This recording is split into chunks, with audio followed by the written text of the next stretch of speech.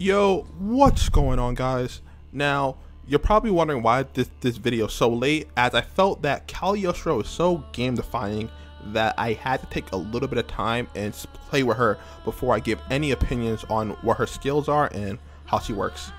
Before that though, I would like to mention that good luck to everyone on the Guild Wars. Guild Wars is currently active. If you're not playing, you should be playing. But wish everyone the best of luck and you are able to obtain whatever rank you're going for. But as I mentioned, today we'll be looking at Cagliostro.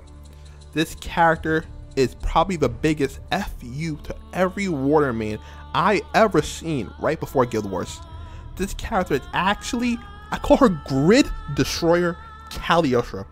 She's no longer Summer, it's Grid Destroyer, because he kills your grid. She is now asking for you to run a critical grid, which is ridiculous, but let's talk about her. Now, she's a water. I can't believe she's an another water unit, a water summer unit. I can't believe they did this again. Two in one year. Water, human, staff, healer. You're probably like, oh wow, healer. She must heal a lot.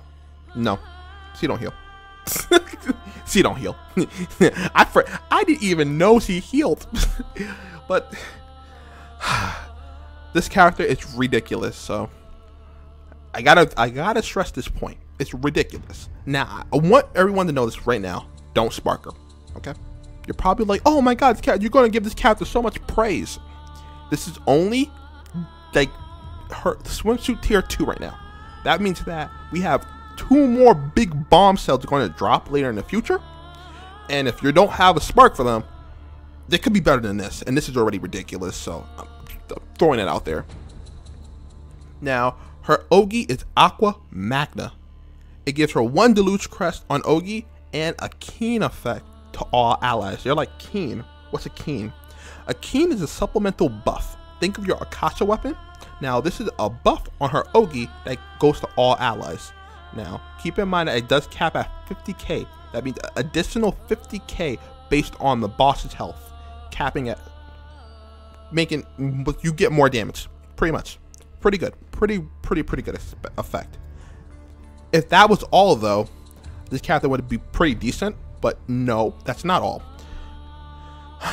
I'm going to ignore her skill 1. You're probably wondering why. Because it defines the character. And I feel like I need to talk about her skill 2 and 3 first. Because they're relevant. So, we're looking at Phantasm. What was that? Phantasma Mirage? Phantasmal Mirage, I guess? Whatever. But I don't care. It's a relevant skill. Doesn't matter.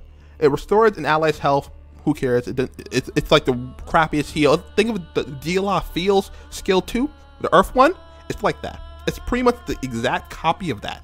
It's a very mediocre skill. You're pretty much not going to be using it outside of the multi-attack boost. So it does heal at 2500.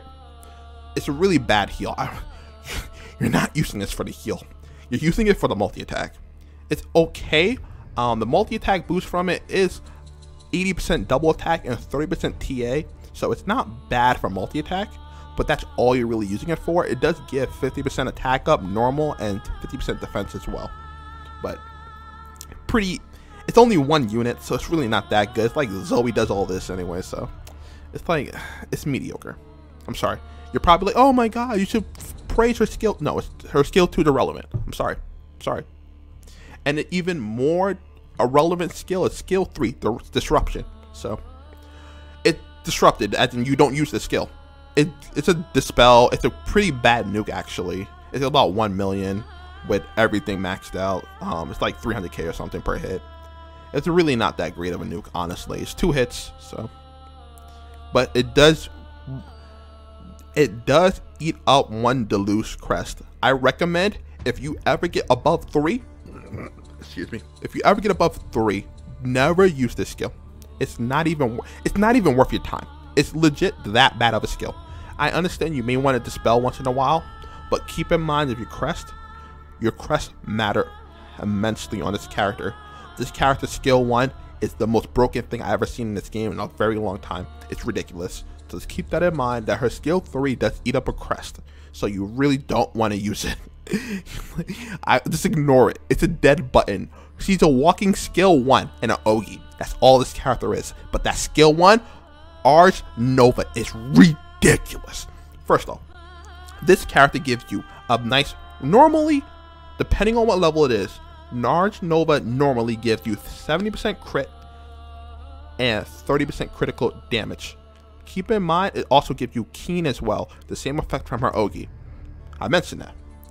However, if, if you have 5 Deluge Crest on this unit, you gain access to 1. 50% bonus damage. That means that your Shiva is about to get a lot bigger. So you have 50% bonus damage. You get 15% damage cap up. Not only is he giving 50% bonus damage, you get 15% damage cap up. And then, if that ain't enough, they give this character 100% critical hit now. So before it was 70 30, now it jumps to 130. So you guaranteed criticals. And you're probably wondering why does critical matter so much? Why do you emphasize that? Her passive. Bonus damage effect toward her allies critical hits on one foe attack. That's another 10%. So you got a 10% bonus damage. You got a 50% bonus damage. And on top of that, you get 15% damage cap up. This is one character, by the way. The only character that I thought I even come close to my mind that is on this level is Lecia. And you know what she had to do to do that? She had to do attack orders. And if anyone knows, attack orders is a pain in the butt. But no, this character does all this for free. All you need is the Deluge Crest. Now, this is their way of quote unquote balancing it. It does eat up your 5 crest, so it's not the easiest thing to do. But when you factor in the Opus as the main hand, Lily as a character, you do gain a lot more points or a lot more crest very quickly. So just keep that in mind. And it's on a really insane three turn. It's a three turn, three turns. Why is it three? Why is it three turns? I thought it'd be two. Alessia's buff is two. This is better than her buff. It's three turns long. Why is it three turns? And it's on a six turn cooldown. Six turns. Why? Who? Who's making this? Who? What? And this may not even be the best summer unit. What is this? Why? Anyways, this character is ridiculous. But let's talk about her last skill, Beach Ready. It does give a boost to all allies' critical hit rate based on their Deluge Crest. Another what the hell. so this character is given more critical on her passive.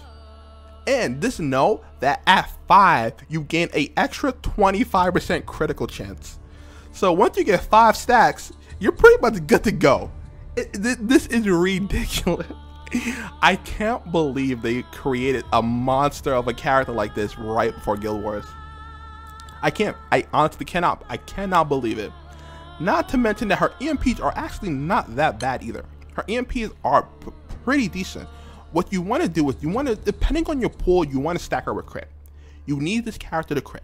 First of all, her base damage is not that high because she don't have any inherent buffs, but her skill 2 is a buff. Always keep that in mind that if you feel her damage is too low, just use her skill 2 on herself to boost her damage. But what you want to do is you definitely want to increase her critical hit rate if your grid is not 100% crit. If your grid is 100% crit, it's not that important, but you still want to increase your critical hit rate. So keep that in mind. Getting a, uh, uh, ovary mastery of critical hit isn't bad either because this character is all about crits. I know that I may have gushed a lot about this character, but her skill one's ridiculous. I don't care anyone says. This. Her skill one is straight bonkers. It's like it's, it's like a, if there was a level of what the is this skill, it's level 11. Cause this skill on a fire unit, holy, bro! If they put this skill on a fire unit, bro, I people are people are rage quitting. People, I swear, people will rage quit this game if they would ever put something this stupid on a fire character. People, people will lose their goddamn minds. I don't care what anyone says. The only thing holding this skill back is that it's not on a fire unit. And it has Deluge Crest. That's one of the biggest drawbacks is that you have to Ogi. You're probably thinking Ogi's not that bad. Ogiing is pretty bad when you think of the fact that it had a longer cooldown, or, well, cooldown is the wrong word. It has a longer lockout time than uh, auto. If you didn't know, this game has lockout time. When you see processing and a processing turn, that is your lockout. Depending on what actions you did, you can have a longer processing turn than a normal turn. So for example, if you did a full turn of all TA, it's going to be longer than if everyone single attack if you Ogi, it's going to be longer than everyone TAing. So that's what you get the processing turn. That's your lockout. The fact that she is locked out because she needs to Ogi to gain crest is a kind of balancing mechanic here. Because the skill, if it wasn't for that, and all she had was this, this, and you throw it on fire, I people it would be the biggest day of money making for Granblue in a while because a lot of people would have to spark that unit instantly. So I just I just really don't know what they're gonna do with the other units in the future. Cause this character is ridiculous. It's ridiculous. Ridiculous. I cannot believe I don't want this on fire. Please don't make a fire. Like this is the this is the most bonkers skill I've seen they put in a character in a while. Lecia was one example of it, but because her attack orders is not that easy to obtain, it was kind of balanced. Even though you've seen all the the meme videos, right? You, I'm pretty sure you guys have seen many many meme videos of Lecia and Shiva. This is Lecia with a lot more accessibility, so it's it's really insane. I, uh, I'm at a loss of words. Uh, I'm gonna do a little little test run of this character just with different units just so you guys can take a look at it. Normally I do a video with it at the end. So let's get to a video of this unit because this unit is ridiculous, man. Oh my god. So we're to be taking on Athena. I wanted to have a little fun. One, I changed up my team a little bit. Now I'm running Arulumaya and Europa. I didn't want to run Lily because I wanted to show people what what's it like to not run Lily. Um, to give an example, and uh, another thing is that somebody did ask me about two balls. So I thought I, I changed my pool for that. That's why if, if you see I have two balls to three. So that's how it goes. But yeah, this character is ridiculous. I don't recommend sparking her though. I would tell people to always wait until the very end of summertime because you don't we don't know if it's gonna be a stronger unit that's gonna come out in the future. So always wait. I know it sounds weird, but it's important. Uh, we just got screwed over, by the way. I think that uh, we're not gonna have Veil. I could be wrong though, but I'm pretty sure we're not gonna have Veil. Unfortunately.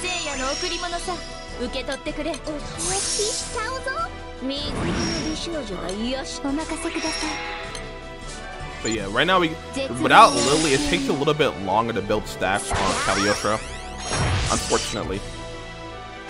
You could be fine regardless, but it does take a little bit longer. Mainly when, you, when I don't multi-attack enough to get my to get my Ogi.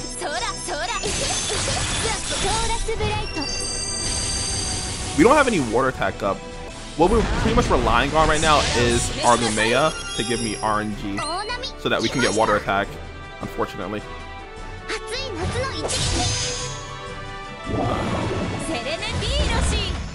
We'll see how it goes though.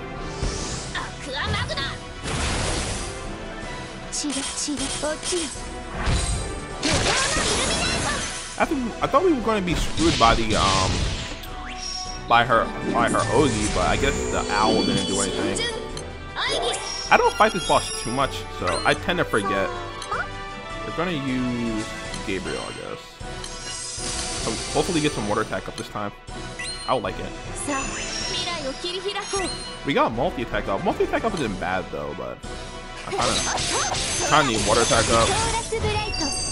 Arulumaya is an RNG unit, so you don't always like get what you want. Unfortunately. Oh, we get hostility up. Though it doesn't really matter. We won't take much damage from this fight anyway. But yeah, one thing, another thing about Cagliostro, it's not really that great to run Bonito on her. Uh, I've tried it.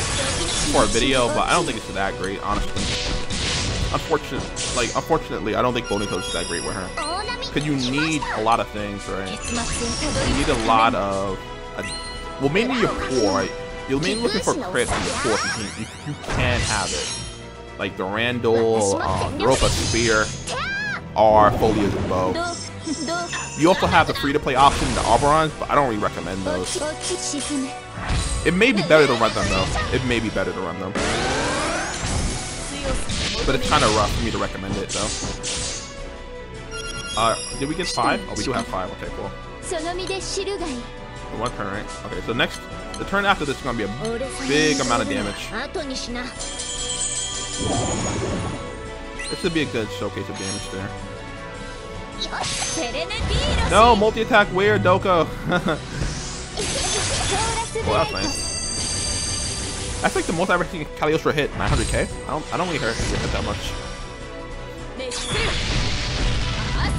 We'll see though. We'll have all our buff stuff and chaser and everything, so this would be a good amount of damage. Like it's gonna be a ton. It's not gonna be as much as a Shiva turn, obviously, but it should still be a good amount of damage. I mean, you got water attack up now. So I think we already had it from the Bunko, so it's not that important. I would say I see how much damage. And let's keep in mind, we can do that again because the buffs last, last long enough, right? Or not, because I got blinded and debuffed. Oh my god! Oh. No, all these debuffs. So what I do, I had been locked. Oh, this is the worst. Don't miss. Too much. Oh, it lowered my multi-attack rate too. That's unfortunate. Whoopsies. We'll have Ogi then. Whatever.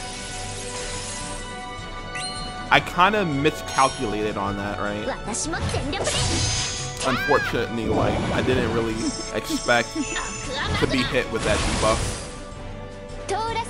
Like, as I mentioned, I don't really fight Athena that much, right? So, my memory of what he does is not the greatest. That, and I also don't fight Athena like this, where, like, I, I skip the main body. Well, the, the, the, the, uh, the bird. Normally, I kill the bird, so. But to be honest, I think I think we're pretty okay though. I think. Uh, if I didn't miss every, miss every debuff, I mean every attack actually.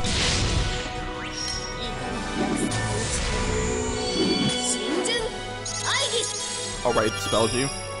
And removes the charge bar? Oh, that's just BM.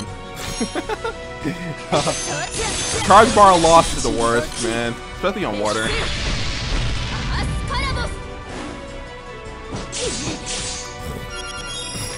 That's a lot of damage.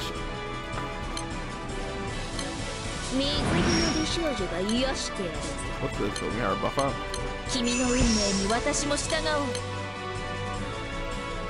Yeah, but you can see like the lack of Lily. Oh, my game's lagging. I have my game been lagging a lot ever since Guild Wars started. So it's like randomly my skills won't come up and stuff. We're gonna get an error. when I record a video, right? When I record a video. But yeah, you can see that without Lily, Cagliostro doesn't gain stacks nearly as much. So right, like in this example right here, like I don't have enough stacks because Cagliostro didn't gain it. So it's just one of those things you gotta deal with when you run Cagliostro without Lily. That you're gonna have a harder time gaining the stacks you need because of the way that she works, right? Lily is a very good combo partner with her. So if you do have Lily, you do want to run her with Cagliostro as much as you can.